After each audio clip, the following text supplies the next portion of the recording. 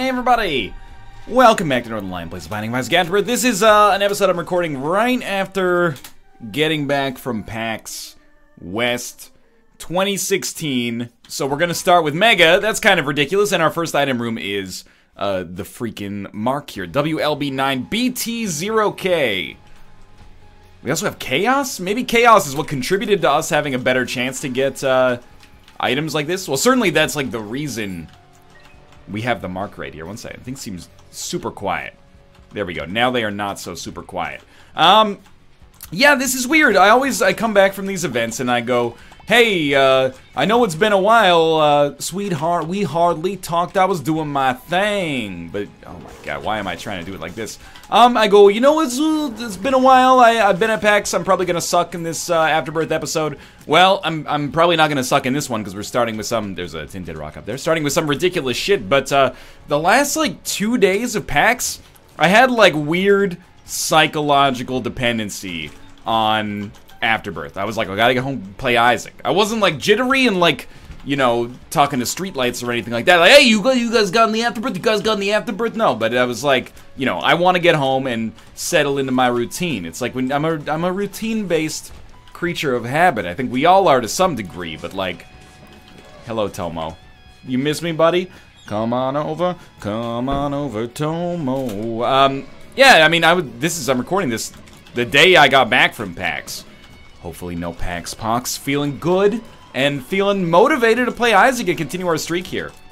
I know people are going to ask, did you play Afterbirth Plus? Yes, we did. Um, I didn't sign an NDA or anything, but I also didn't see anything that wasn't shown off in the Twitch stream that they already did. So we saw some cool items that um, you can you can see in the Twitch stream that they did with uh, Man versus Game. We will take that, but um, we didn't really we didn't really get to see any stuff that you would not also be privy to. So you're thinking I'm hiding exclusives from you, exclusive content. I'm not. I know about as much as you do. Tyrone plays it pretty close to the chest. Seems like just the kind of dog he is. You know what? I'm going to fight this boss without using the battery charge. We can always get the battery charge on the next floor if we want it. We could probably afford to go to the shop here. I definitely should have taken the battery charge because Mega um, would destroy Ragman. Instead, I'm going to have to fight him the old-fashioned way. I know, Tomo, it's the classic old Tomo gamble. You want to... You, okay, you know what? You can leave then. Good, get out of here. I'm, I love you. Nice to see you, too.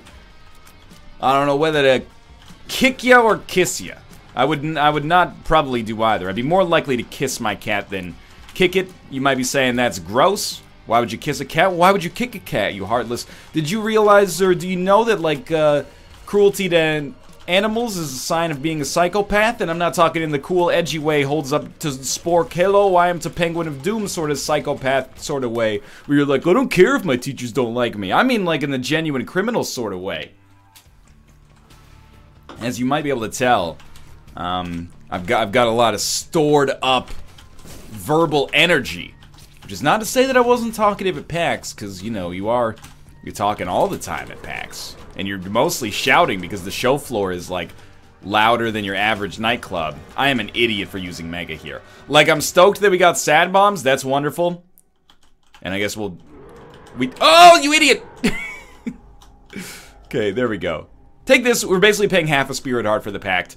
Um, yeah, I thought we would not actually have access to the Devil Room after we did that. And we should, let me put it this way, there's a chance we wouldn't have. Um, but yeah, you know, there's, you're not really having super out there conversations, I suppose, is the way I would describe it. You're having a lot of conversations that are like, this looks cool, when's it coming out? What's your release plan? Are you coming out in early access? You're not coming out in early access. But I'll give you like a quick little PAX rundown, even though I'll probably end up doing uh, a separate sort of PAX video as well. Um, on the best stuff that I saw. First off, if you saw me at PAX, it was lovely meeting you. Everyone we met was super nice. I'm not just saying that because it would be a total dick move to be like some of you were assholes. Nobody was an asshole.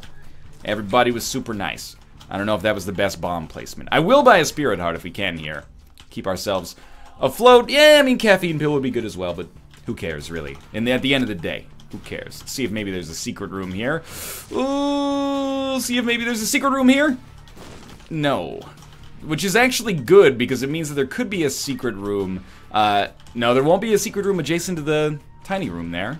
Okay, well, at least there's a tinted rock here as well. Um, yeah, it was lovely to meet you all. Your your kind words, as uh, as much as this sounds a little overly saccharine, are very highly motivating. People say they're like, "Hey, love your content. Been watching you for years." A lot of people specifically were like, "I really like the Isaac stuff, but I really like the RimWorld stuff too." And it's it's nice to hear that about a series that's brand new, uh, especially as like the final Alpha 14 videos have gone up and people are like, "This guy sucks at this game." Definitely true, but we're we're moving on to our Alpha 15 update. But yeah, it was, it was nice to meet all the smiling and not completely beleaguered PAX faces over the course of the weekend.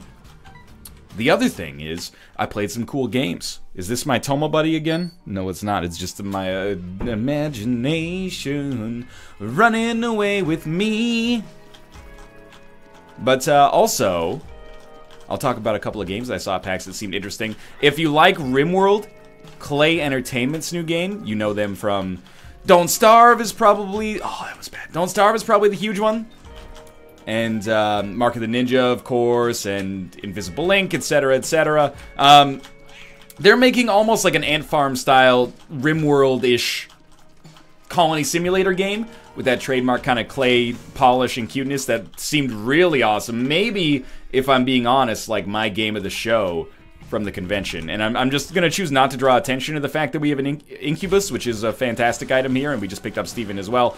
Um, this runs kind of absurd and I'm very happy to have it. But, um, so that was really cool. Like, the way, we, the demo that we played, it, it, seems like the kind of game that's super ambitious, so it might be a while before it sees access.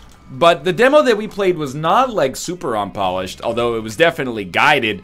Um, basically, you start with, like, three kind of, it's like The Sims meets RimWorld in space. We started with three colonists that are actually just, like, 3D printed individuals, and you can actually get more of them as you go uh, throughout the game. And they they have various skill levels and and you know a work priority queue that's very similar to Dwarf Fortress or uh, or RimWorld. But you know when you first launch, you're in like this tiny little colony that's like subterranean, and um, you're you're closed in. You're in a cave basically. So the colonists breathe oxygen. So they take oxygen or consume oxygen out of the environment, and uh, produce carbon dioxide. Obviously, that's not very conducive if you don't have any way to exchange that carbon dioxide for air. Um, that's not very conducive to, you know, a good chance of survival. So, first things you want to do, you know, get up like power and stuff like that, figure out how to work, but also build like a something that scrubs the CO2 out of the atmosphere and maybe even turns it into oxygen. And then, you know, that's modeled on the screen nicely so you can see what the hell you're doing. And, um, you know, the, the, it's modeled almost like a combination of RimWorld, The Sims, and that game that, if you're my age, you probably played when you were in like middle school or high school, where it, it was like the falling sand game where there was physics interactions between everything. So, you know, they, they were like, well, pipes are gonna have uh, the ability to not only carry fluids, because there's going to be a piping system in the game to, you know, give yourself indoor plumbing eventually, basically, but they'll also carry um, heat. There'll be heat transfer between them. So you can use your pipes to cool or heat a room, but you can also use your pipes to dump uh, heat into maybe an ice biome that's adjacent to you, and then you will melt the ice inside of that ice biome. And, uh, and it will become uh, water, and you can use that water for whatever you need water for. You know, to consume uh, as a resource for life, but also as a I don't know power generation or something like that. Anyway, you get the idea.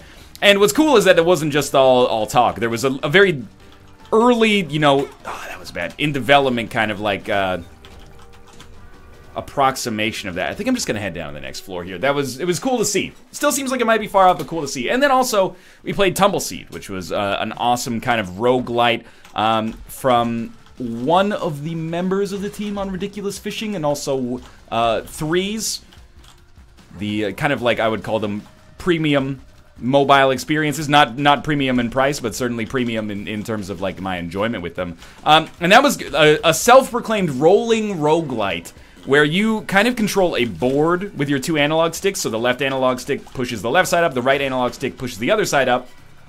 And you're trying to get up a mountain that is like fraught with hazards like pitfalls and enemies and stuff like that. And uh, basically, you're trying to balance your uh, your player character, who is also you know the the, the tumble seed in question uh, over the course. Oh my god, over the course of the uh, the game. So those were those were probably you know I hesitate to throw out game of the show sort of things, even though you might be saying, oh god, that was really bad. And El, mere moments ago, you called uh, Oxygen Not Included your game of the show. Well, you know what? You've got me there. Uh, but, you know, you, what you're seeing is, is curated specifically for press, so it's not always indicative of what's what it's going to look like. And the truth be told, most of the games you demo at PAX end up being better when they come out than they were at PAX, which is finally a good pill. Um, which is very sensible because, you know, they're, they're works in progress when you see them. Um, however, it, I think it's always good to keep your expectations sensible. Uh, so I really like this item, but I'm going to choose to ignore it, and I'll take that instead once we get the chance. You know, I'll just, just end it. Thank you. Uh, I recognize, by the way, this run is not going as well as it probably should have, and I'm, I am, I'll, I'll give you the standard NL uh, preface here that I'm a little rusty. I have been, you know, my the loop of my life largely consists of playing a couple of Isaac runs a day, so I'm basically, you know, a week out of practice here, if not a little bit more, because as always, my Isaac backlog is like the first thing to grow to a, a good size. Oh, that was bad. So for real, we, uh, we are a little bit out of practice, and we'll probably continue to be a little out of practice for a couple of runs, but I definitely, I'm, I'm 100% committed to keeping this dang streak going, and it's going real well. I can't deny that. However, I would, uh, ooh, that's okay. I would, um, I'd like to play fundamentally better as well. And of course, you know, whenever I, like, see new Afterbirth stuff, so, like, whenever I, or new Isaac stuff, I should say, um, I'm always jazzed to, to play more of it in the future. And, you know, you talk to other people at PAX and you're like, man, it's crazy. Like, all these games come out, but I still just want to play a lot of Isaac. And it's the truth, man. I'm, I'm very lucky. And this is the standard, like, you know, you come back from PAX and you go, I'm so lucky. And it's true, but also, you know, it, it, it's funny how many streamers, you know, you'll see them come back from PAX and be like, thank you guys for enabling me to live this life that I lead. It's amazing. And it is amazing. I'm not saying it's not amazing. I'm just saying I'm one of them. Um, uh, it's it's amazing, and I'm very lucky to be able to continue to play a game that I love playing and have an audience that loves watching me, despite the fact that it took me, you know, two and a half to three years to get any good at it. and and mostly I just, uh, you know, quote some old alternative rock or uh, hip hop lyrics over top, and, and for whatever reason it does the job. Okay. Where are we at here? Flooded Caves 2. We are a couple minutes ahead of schedule, which feels good. Remote Detonator is not going to replace Mega, but five bombs is nice. And you know what? We got sad bombs. Let's use sad homing bombs and get the job done. And lump of coal is a nice upgrade. But I cannot lie to you. I would like to, in the future, if possible, maybe this is asking the world, but get to a situation in which I can, uh, perhaps have like a single... Oh, I, I did get rid of that Hanged Man card, unfortunately. Um, get in a situation where I have one red heart. I wouldn't mind having one red heart. I think that one red heart could really tie this run together if I'm being honest and a little bit the doodly. And I'm not talking about the hoodly doodly like uh, Ned Flanderinos there. There's a tinted rock here. Rest assured I see it. Will I remember to pick it up? Uh, I'm going to say the answer to that question is probably yes. And by the way, I'll be the first to tell you, although, I mean, I am literally the first to tell you because I'm recording this before you guys are ever going to see the episode. So you know what? If you're going to be uh, an asshole about semantics, go fudge yourself, as far as I'm concerned. Um, but we should go to Boss Rush, assuming we qualify, which is, I think, a safe-ish assumption in this situation, given the, uh, the items we have at our disposal. But you want to go to Boss Rush with Mega because you, you just steamroll it most of the time you know, Mega just, it chains off of itself, so get yourself into a, a nicely stable equilibrium. I'm happy for the Spirit Hearts, and it looks like Win 44. Not really a big problem for us here. Oh, I don't want to be here. This room looks like it sucks. Um, you know what? I'm going to pop Algiz, actually. Save ourselves our sad bombs. If we had anything that made bombs not hurt us, I would actually be all in on uh, Curse of the Tower, but in our present situation, it's just not worth it. Uh, I guess I would prefer more Spirit Hearts, and that's what we're gonna get. Okay, let's... Finally, we have enough uh, Spirit Hearts that if we get a deal with the devil, which we will, of course, because we have Goat Head, I don't feel like I'm gonna be like, oh, this is a scary moment, you know? Do I take this or do I not take this? Instead, I'm gonna be like, I'm, I'm in. Which is a, a, a very nice... I was gonna say... It's gonna get real weird with it. It's a very pleasurable situation to be in. Um, You don't use pleasurable unless you're like a 50 year old man talking about getting your dick sucked. That is not a young man's word to be used in platonic situations. That is exclusively a middle aged blowjob sort of scenario. Ooh, your mouth movements are very pleasurable.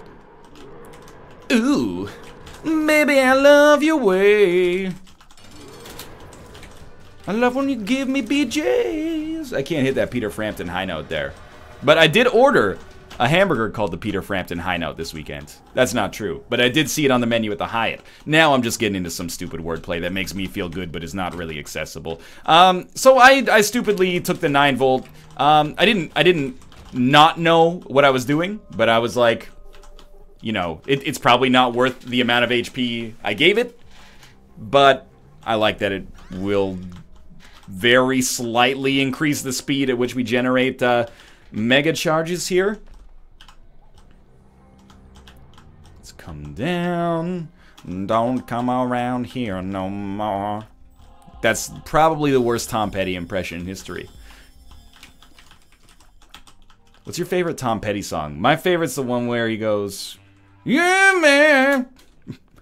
Brown eyed girl. I know that's not Tom Petty. Don't don't mess with the bull, you get the horns. What is that? That's I'm just covering up for my own mistake right now.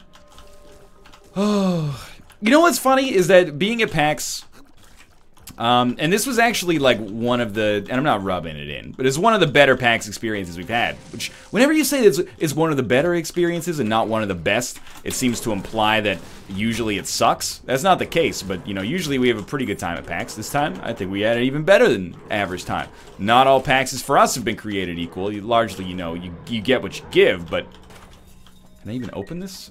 I can't open a chest, but I can use a key. Very strange. I will take that. Um, you, I live in this video game bubble where, you know, I'm talking to you all, and you're all like, oh, how was PAX? How was PAX? Everyone here knows what PAX is. Penny Arcade Expo. Most people. I shouldn't assume everyone.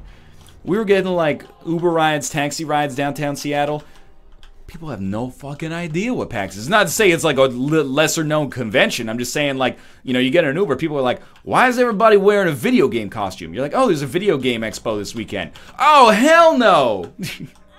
like, they're like, th that's like, I, I, can relate, okay? Because we used to live in a, a part of Vancouver uh, where every year there was a folk festival, and it would be like exactly the same kind of situation. You'd be like, well, people walking around with no shirt on, you know, smoking weed on the sidewalk. And then you're like, oh my god, it's a Jericho Beach Folk Festival. God damn it. You know, like when you don't live in a city, you're like, whoa, yeah, dog. Kitsilano Folk Festival. When you do live in a in that area, you're like, oh god, my my idyllic environment is being shattered by these tourists. But I'm happy that I can I can pay it forward by giving. Uh, if you come to Vancouver, hopefully I help contribute to your tourism experience by you know, keeping my mouth shut most of the time, yeah, we're gonna totally go to the uh, boss trap room here. Um, just one of those things, you know. As as a tourist, you have to accept you're fucking up people's day in the city. People are like, "Why is it so busy? This sucks." I feel you, dude. That's that. It's a bummer if you're in that situation. But then you, you pay it forward by you know just shutting your mouth and going like, "Let them have their fun," and then I'll see you next year, right?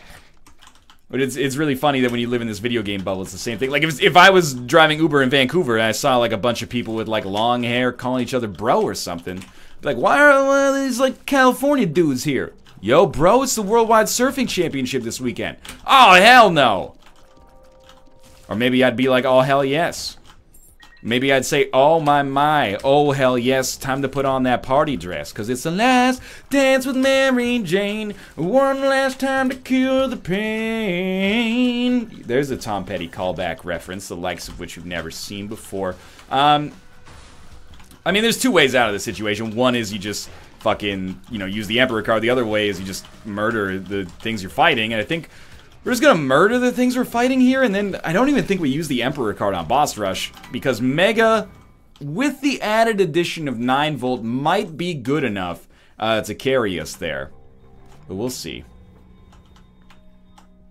We'll see. It's always nice for us to be in Seattle as well, because it's so close.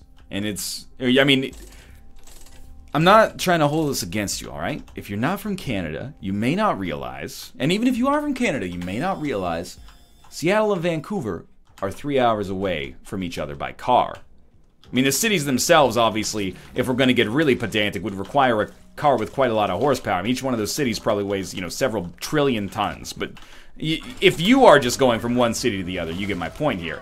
Um, that, that was me making a terrible joke about mass. Either way, um, it, they're super close, but people will be like, man, you must be exhausted. You came in from Canada. And I'm like, dude, you flew from New York City to Washington State? You think I'm tired?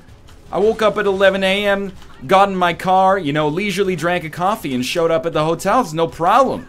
You got up at 6 in the morning, but then I go, oh yeah, you know, it's hard going city to city here. Like, it's a, it's a hard life flying around playing video games. This is a real tricky situation. Not that I'm trying to rub it in. We might as well take Mr. Mega. We've got like all these bomb synergies. Let's get stacked. And you know what? I mean, blank card could be cool, but let's let's take it to the next level on these bomb synergies, dude. I'm I'm invested. And I'm hoping that Mega stands. Like, Mega allows us to just chain this non-stop. We do have Bomb Bag as well, so if we ever need to throw a bomb in here, that shouldn't be a problem. Please just... Ah, I knew it, I knew it. I knew it, I knew it, I knew it.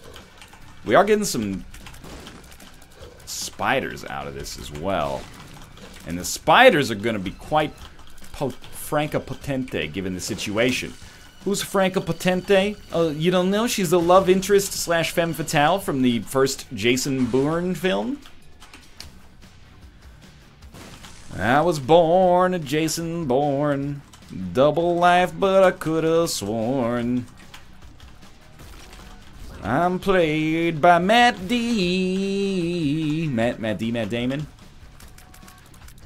I should have just used Franco Patente, but Patente, I don't know where I'm even going with this anymore. That's the other thing is that, you know, I've, I've been away long enough and, and enough times to know that it takes a while to get back into that trademark Northernlion style of riffing that sometimes it works, sometimes it doesn't. But I'm happy to have cultivated an audience where me, like, not being very funny is also funny. Like, it's, it's really flattering because, you know, nobody expects you to be entertaining. So they go, don't worry, you're not funny most of the time. So that makes me feel good and like I'm spending my life making wise decisions. But um, for real, like uh, I, I know you might be saying this this commentary is garbage. It is. It is. You know, it's trash. It's always trash though. Just you know, this man's trash is no man's treasure.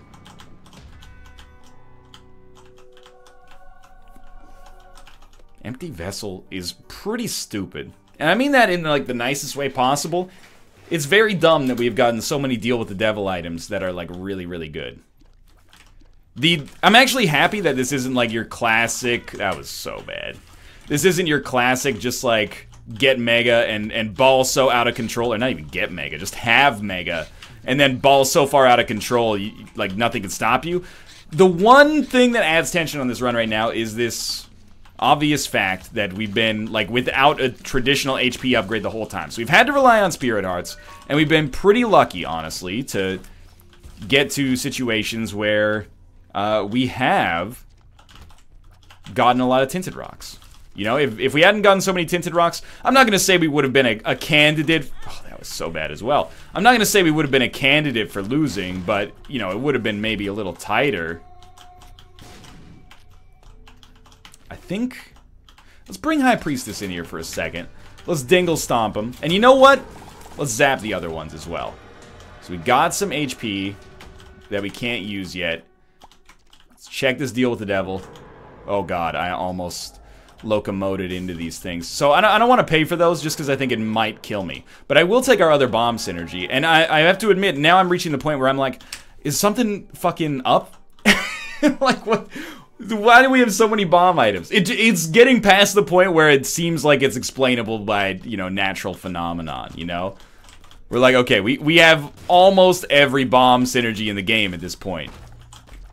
And I know some of you fuckers, you're gonna be watching this and saying, hey pussy, why didn't you take, uh...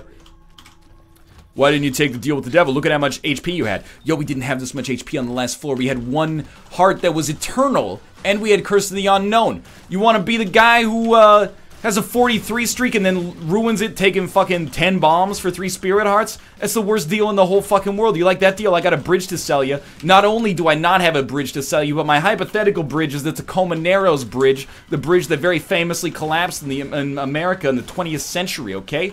You feel smart about yourself right now? I hope you do. I hope you do. So we're gonna get out of here and I'm gonna calm down.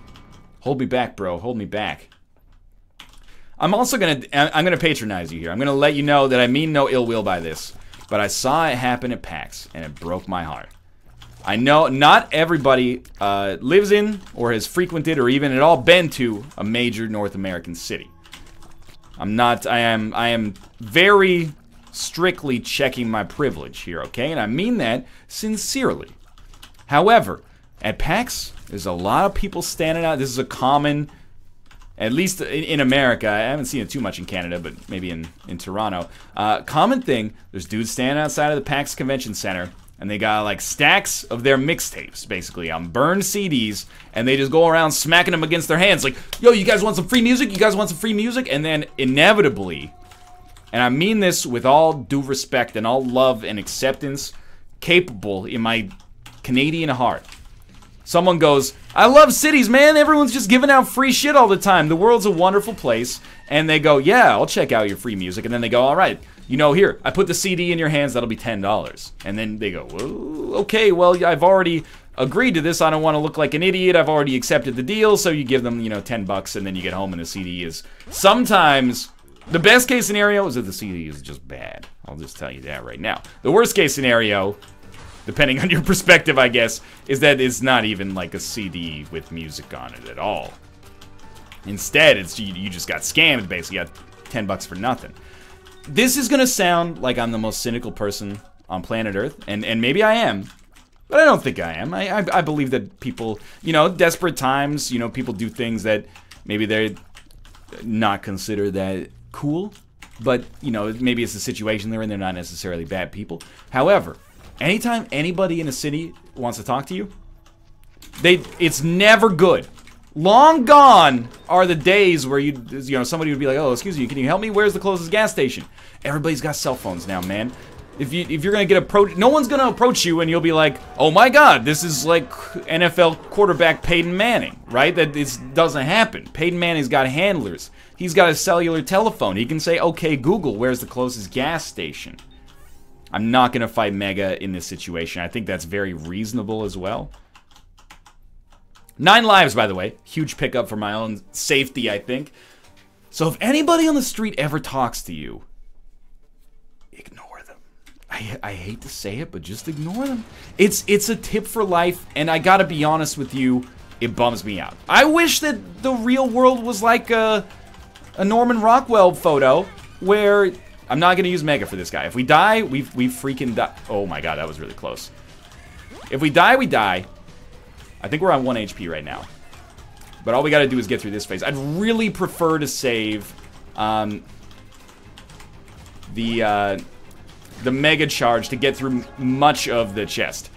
I wish that you know someone and, and, in smaller cities this is true by the way you'll when I whenever I go to my hometown you pass someone on the street if you're the only two people on the block you like, you know, give them a little up nod and say, uh, hello, you know? I know it's super, it might seem quaint, but you, you say hello to strangers on the street. Da da dee da da. But in big cities, you don't do that. Anytime I've ever been asked for help on the street, it's always, oh, I forgot to drop the left hand like a freaking idiot. Worth it. I'm, I don't even know if that is worth it, honestly. I'm not to change it, though. Let's get our spirit arts and go. Um, anytime I've ever been asked for help on the street, I'm like, yeah, I'll get ready. To... The Cactus Club Cafe is that way, good sir. Enjoy your time in Vancouver. It's always been, can you help me? And then they start screaming about like Vienna sausages and stuff like that, and it's like a, it's a whole thing. I hate to be cynical about it, but the world has made me so. And it doesn't have to be cynical. You can you can love your fellow man. Just don't take a CD from your fellow man, because that fellow man is not just there. Look, if he's trying to break into the music industry, he's not giving his CD to, you know, a Midwestern 50-year-old couple on the street, okay? That's what that's what bums me out. That's not how you break in. you think you break into the music industry just by giving your CD out on the street to to strangers? Thinking maybe one of them works at uh, you know, Arista Records. I can't even think of a a record label. You, th you think one of them works at Nonesuch Records? I mean, it's a theoretical possibility, I guess, but that's the kind of meet-cute story that... Oh, that's bullshit. The kind of meet-cute story that no longer applies in today's modern world, I think. Or no longer happens with regular... Oh, okay. Okay, okay. Don't be scared, homie. Gotta pump your brakes and drive slow, homie. What it do? I'm on a mission for dime pieces and sexy ladies. Please allow me to introduce you to my CL Mercedes. It's a star-studded event when our valet park open up the door and sunlight illuminates the dark. Okay, let's do this. Maybe went a little hard on that impression. I apologize. Uh, but I did this all for the Mega. Come on. The Mega. Come on. So you could take that Sega and stick it up your Sega. Stick it up your Sega. I was hoping maybe we get a little access there. That's okay. We've done it. We've won a run with Mega. I didn't think it would be plausible to do so. But apparently the most powerful item in the game is just that good. A little bit, a little bit dicey towards the end, but no worries. Thanks for watching and thanks for the, you know, the warm reception for being back, hopefully. If you enjoyed it, click the like button. Helps out a great deal. Of course, subscribe if you want to see more in the future. But for now, thanks for watching, and I will See you next time.